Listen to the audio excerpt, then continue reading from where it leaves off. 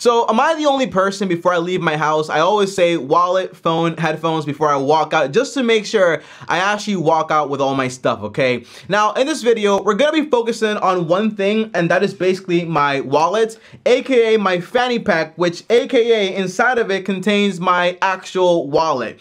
But whenever I think about a wallet and what's inside my wallet, like the cash, the credit cards, the debit cards, by the way, I want you guys to take a wild guess, let me know in the comments down below, how many credit cards do you think I carry around? Comment down below right now and then comment down below exactly how many debit cards do you actually think I carry around and how much cash, okay? So those three things, comment down below and let me know. Now, whenever I think about this video and about wallets, I always remember my Louis Vuitton story. Now, for those that don't know, guys, okay, when I was in high school, there was this kid, had to be the coolest kid in school. The guys admired him, the girls wanted him, and it was such a cool, like, the guy was awesome, okay? His name was and my name is Tommy. So you, I, well, maybe blur out his name. I should not say his name. But overall, I remember one day he comes to me and he's like, Tommy, can I get a dollar? And I'm like, what do you want a dollar for? You literally have like $300 jeans on, a jacket that costs $20. It was true religion. This guy was so cool. And he says, Tommy, I don't have any money. And I couldn't believe it, okay? So he opens up his wallet, which by the way was a Louis Vuitton wallet,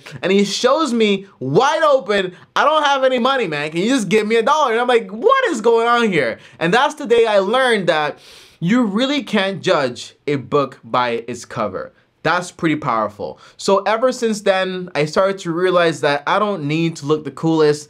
I don't need to have the cool things, expensive things, because in reality, they don't tell you or me or anybody out there exactly what I really have in my wallet. And in my wallet, it's got some cards, but overall wealth is so important. So when I say in my videos, I'm the most boring guy on YouTube, it's because I really am. Everything I do is long-term. That's why I call it a long-term team. Everything is simple. Everything can be copied, but everything works in the long term, okay? And that's what I love about this system. So in this video, you're gonna learn exactly why I keep my wallet the way I keep it, how simple it is, my system, and that's basically much it. And by the end of the video, you'll be like, oh, that's pretty simple.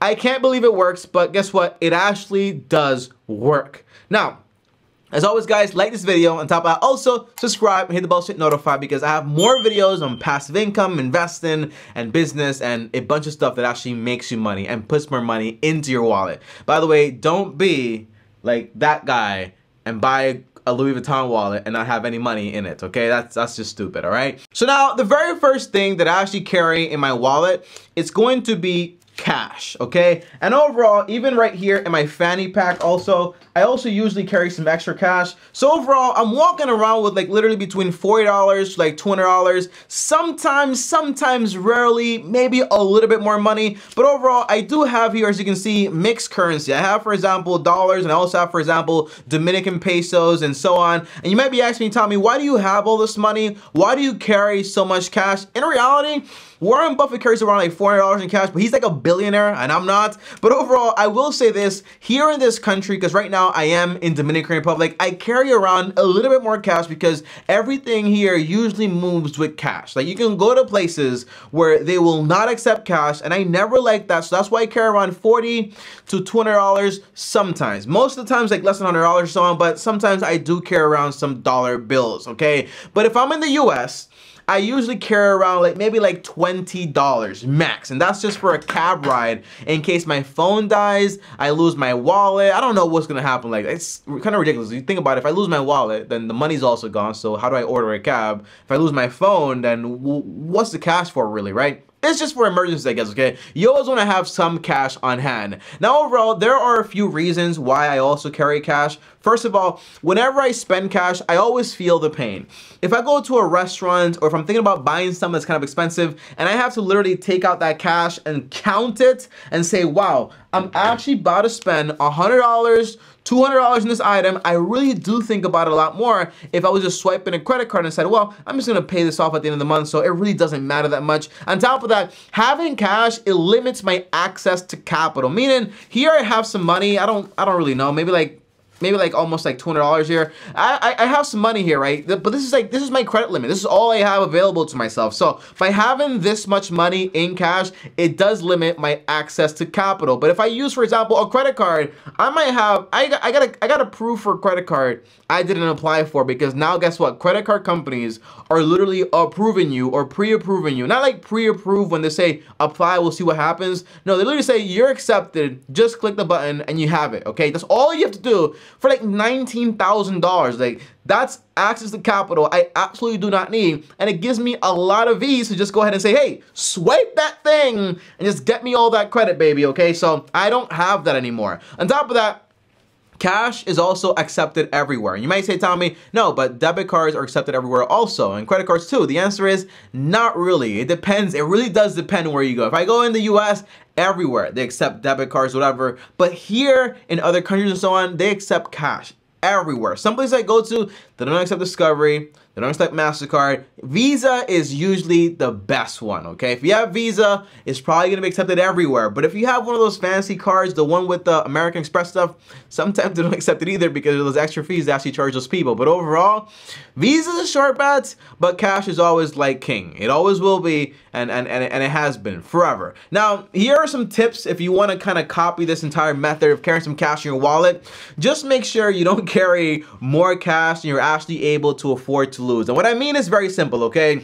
The other day, I was carrying a little bit over a thousand dollars in my wallet because someone paid me back some money that actually owed me and I did not feel comfortable. You might say, Tommy, but a thousand dollars really like that's not like that much money. To me, carrying a thousand dollars and losing that, I would definitely feel that pain, okay? And that's the whole thing. So if I lost $40, $60, $200, I'll be a little upset, but I really wouldn't be like, wow, my goodness, okay, I just lost thousand, that's, that's different, okay? So usually just carry enough cash to the point where if you lost it, you really wouldn't have to be that worried about it. Now, talking about losing money reminds me of the time where I spent weeks saving up to buy a new video game for my PlayStation 2 when I was a kid and I had like $60 saved up and I was walking around with it and all of a sudden I lost the money. And that basically crushed me. It broke my heart into pieces, smithereens. Now, thankfully, my uncle bought me the game, and that's pretty awesome of him. But overall, the idea is don't carry more cash than you can afford to lose. That is a stupid idea. It's like people that buy, for example, things they can't afford to lose. If you're walking around with a $300 pair of glasses or like Ray-Bans and you cannot afford to lose them, it probably shows you cannot afford them. So usually you want to not buy those things, okay? That's a little rule I, bought, I, I got from who? I think it was Ramit Sethi. It's a pretty good rule and I use it all the time. So if I have something, um, I can afford to lose it.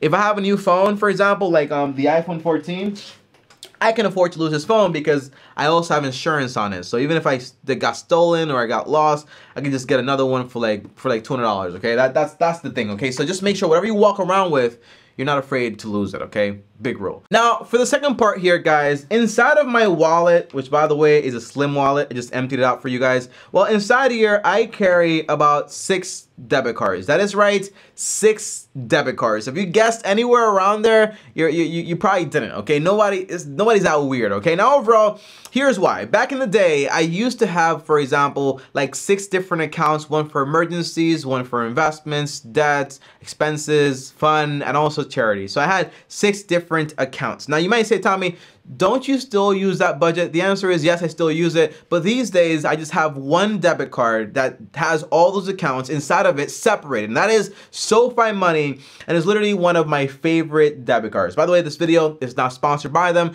I just really like the, the company, okay, overall. But the idea is I used to have all these companies, so I had different debit cards for different things. You might say, Tommy, doesn't that get complicated? The answer is not really, okay, because I'm not using all of them at the same time all the time, okay? So overall, that's why. Some of these debit cards I use, some I actually don't, but my main ones overall are gonna be, for example, my SoFi debit card that I use all the time, and also, for example, my normal Puerto Rican Banco Popular debit card. Okay, this is my debit card that I use where all of my expenses are basically at. For example, for groceries, for utilities, for all those things that I need to basically spend money on, like expenses overall, that's where it is. MasterCard is where I have all of my accounts, but let's say, for example, I need some cash right away, I can just get it from there. And the reason I carry around like debit cards and so on is because one, it's a lot safer than carrying around a bunch of cash. Two, if it gets stolen, I can just basically claim it. And three, it's just a lot more convenient than, than carrying a bunch of cash. I mean, honestly, right? You don't want to carry around